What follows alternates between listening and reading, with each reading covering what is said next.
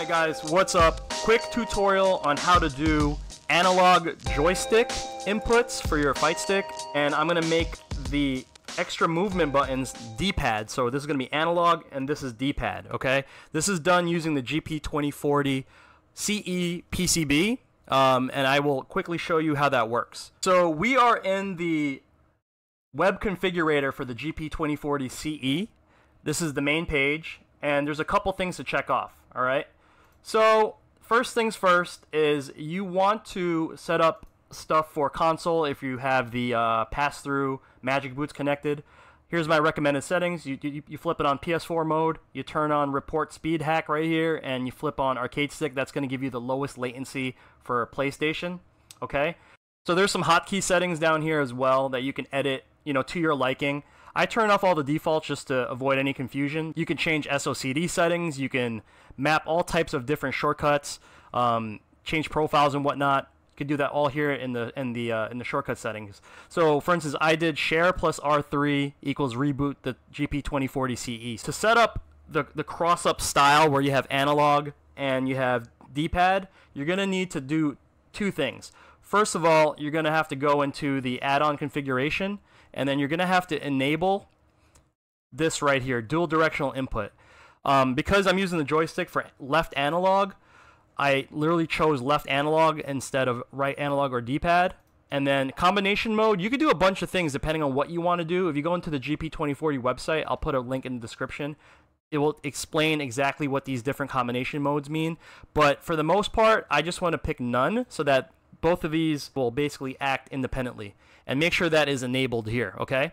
Obviously, you hit save every time you do a step, so it saves the settings. Okay, next most important thing, guys, is you want to go into the pin mapping.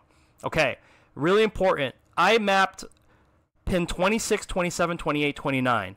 So if you look on the PCB, depending on which GP2040 PCB you have, um, you may have some extra pins available to you.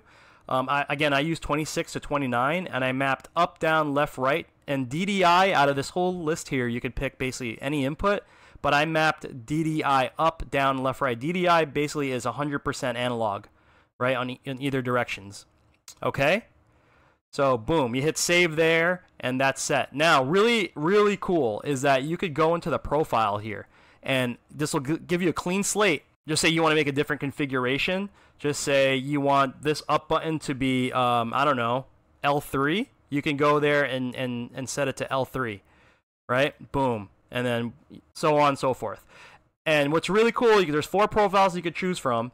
And then remember when I show, was showing you guys the, um, the hotkey settings, you can then make a shortcut to switch profiles. So just say if I want to press up plus share maybe, right? Equals load profile 1. And then, you know, share plus left equals 2. So forth, so on. You hit save, and then boom, you have all these different ways to make different profiles. Okay, so the way you could test all this stuff, guys, I'm to reboot this guy into controller mode. And I'm using Gamepad Tester over here. All right, and if you could see, my joystick is controlling the analogs.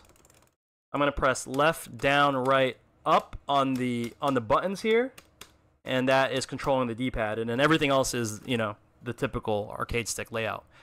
All right, so quick tutorial on how to map separate directional inputs using GP2040. Again, on this specific build, analog, and then I have the additional buttons mapped to the D-pad inputs.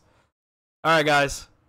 Let me know if that helped. Let me know if you have any questions in the chat. Remember, check out the GP2040 website for a full tutorial, and uh, I'll catch you guys on the next one.